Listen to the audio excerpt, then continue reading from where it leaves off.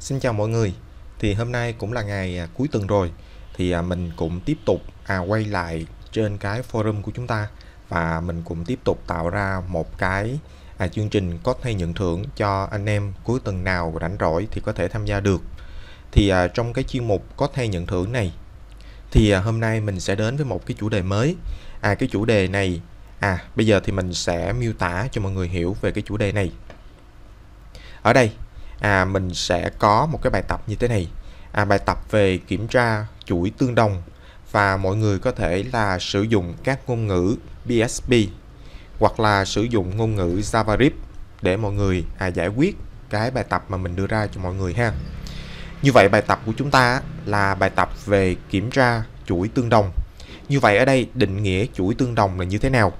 Thì à, mình sẽ có hai chuỗi str1 và một chuỗi là str2 hai. Chuỗi này, ví dụ như mình có str1 là giá trị này, rồi str2 là giá trị này, thì mình nói str1 và str2 nó tương đồng với nhau.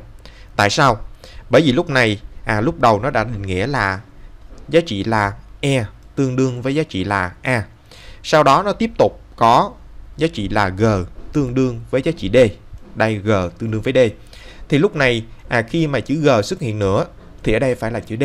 Tại vì lúc trước r đã tương ứng với d rồi như vậy đây là hai chuỗi tương đồng với nhau. Hoặc là một trường hợp nữa ví dụ mình có chữ h. Rồi ở đây sẽ là chữ z chẳng hạn.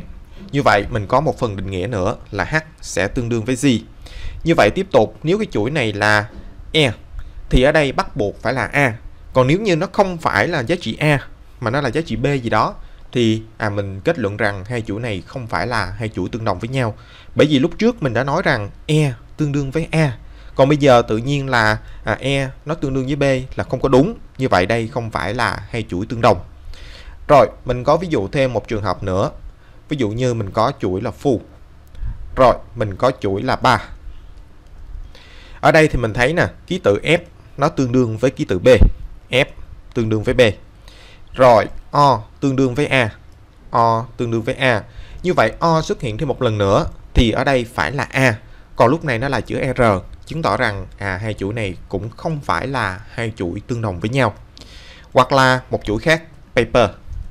Chuỗi paper và chuỗi title. Lúc đầu mình thấy B tương đương với T. Sau đó A tương đương với Y. Tiếp tục nè, B lặp lại nè. Như vậy B lặp lại thì ở phía dưới nó xuất hiện là T hoàn toàn chính xác. Tại vì lúc trước B đã tương ứng với T rồi. Tiếp theo là E tương đương với chữ L. Rồi ha, E tương đương với chữ L. Rồi sau À chữ R. Đây, chữ R với chữ à, E. Lúc này mình có nói là tương đồng hay không? Đây, ở đây là R ha. Ở đây là R, còn ở đây là E. Như vậy mình nói rằng hai chuỗi này không phải là hai chuỗi tương đồng với nhau bởi vì nó đã định nghĩa rồi E phải là L.